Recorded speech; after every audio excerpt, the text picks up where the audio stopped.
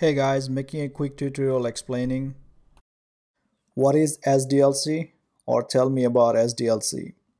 This is another question where interviewer is trying to pick your brain and trying to understand how much do you know about software testing. I'm going to answer this question in two different ways. First is easy way. Second is to impress the interviewer.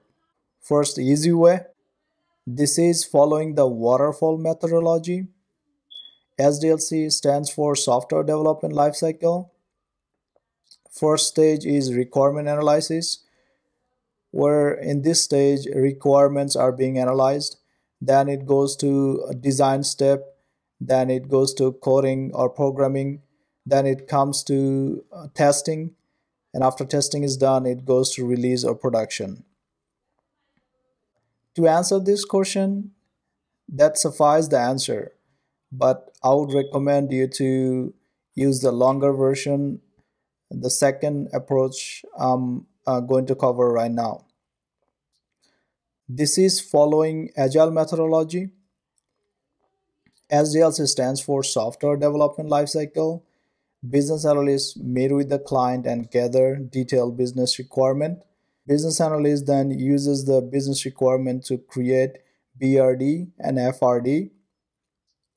Then these documents are sent to design team or UX team. Then all these documents are sent to developers and QA. Developers start writing code and QA we analyze the documents and create test plan and test cases. Let's say for example developers will build the software in 10 different builds. When they're done coding the first build, they will send it to us and we will test the first build to verify if there are any issues. If we find any issue, we use bug tracking tool to add the issue.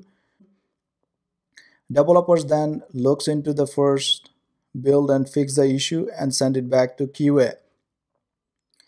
We retest the first build and do regression tests to make sure that developers did not break any other part around the reported functionality. And this is how we test rest of the builds. When it passed our acceptance criteria, we provide sign off. Software then goes through UAT.